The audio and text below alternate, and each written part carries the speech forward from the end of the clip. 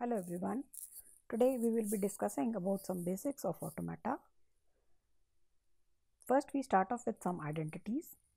The following identities hold for all languages A, B and C. A union B is same as B union A. A union B union C is equivalent to A union B union C. Phi into A is equivalent to A into phi is phi. Epsilon into A is equal to A into epsilon is A.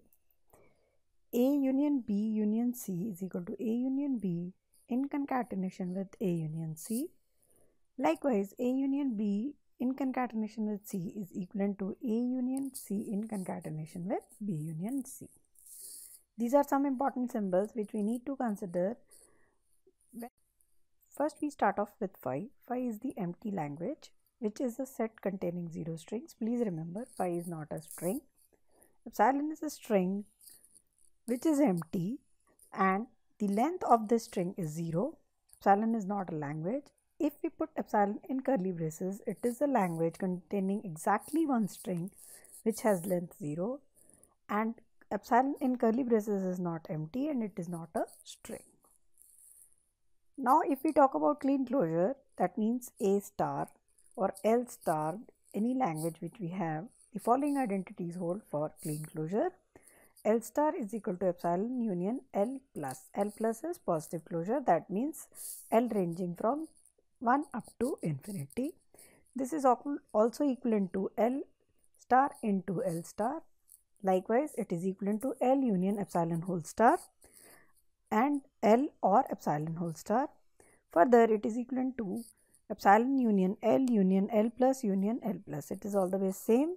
So, that means these all identities hold for Kleene closure. If we have 0 or 1 star, it means any combination of 0 and 1 along with epsilon. Now we talk about automata for A star. If we talk about A star, that means value of A can range from 0 up to infinity. So this is the automata which we have. We have start state as final state in this case and we have a loop of A if we have a 0 that means we have only start state that is epsilon. If we have a 1 this means that we have value of a as 1 only. So, if on the other hand if we talk about a to the power 2 that means this will be repeated twice. On the other hand if we talk about the automata for a plus it will have at least one a and it will range from 1 to infinity. So in this case we don't have epsilon. So there is one state from q naught to qf on A compulsorily length 1 followed by A star.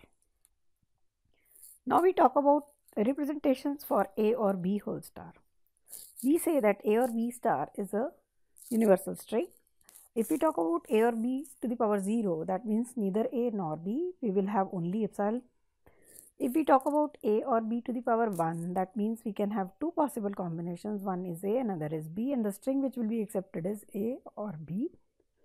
On the other hand, if we talk about a or b to the power 2, this means a or b into a or b. So we can have four possible combinations AA, AB, BA or BB and the strings which will be accepted will likewise be AA, AB, BA or BB. On the other hand, if we say AB to the power 3, that means AB into AB into AB. So we can have 2 to the power 3, that is 8 combinations in all, AAA followed by AAB and so on up to triple B. All the strings which will be accepted have been put on the right side of the coin. Now what is the difference between 0 or 1 star and 0 or 1 plus? If we talk about 0 or 1 whole star, that means we will have string ranging from 0 up to infinity. So in this case we can have any combination of 0 and 1 along with epsilon. On the other hand we will have any combination of 0 and 1 except epsilon in 0 or 1 plus. Please remember 0 star or 1 star is not equal to 0 or 1 whole star. 0 star or 1 star means that string will have only zeros including epsilon or only ones including epsilon whereas 0 or 1 star means any combination of zeros and 1 including epsilon. If we have to design a DFA for 0 1 star or 1 0 star The first machine which comes into mind is something of this type. But when we analyze, we identify in, in this case, if we start off with 0, we move towards 1 and come back to 0, we have covered 0, 1. But now we can move on 1 from 0 to 2 and come back to 0 again. So this is not a DFA for 0 1 whole star or 1 0 whole star. Instead, this is a DFA for 0 1 or 1 0 whole star. So if we see it broadly, this is how it works. It can move from 0 1 to 1 0 and likewise from 1 0 to 0 1. So if we want to generate the DFA for 0 1 star or 1 0 star, we have to design a machine of the type which is given on the right side. This particular slide clearly indicates what is the difference between the two DFAs the DFA on the left side represents 0, 1 or 1, 0 whole star, whereas DFA on the right side represents 0, 1 star or 1, 0 whole star. That means it will move either in the loop of 0, 1 or in the loop of 1, 0.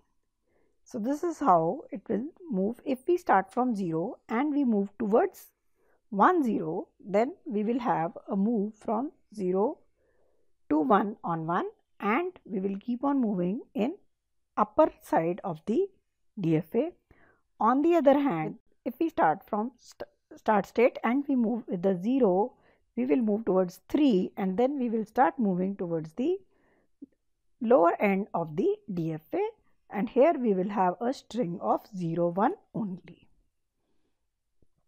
So, this is the difference between 0, 1 star or 1, 0 star and 0, 0 and 0, 1 or 1, 0 whole star.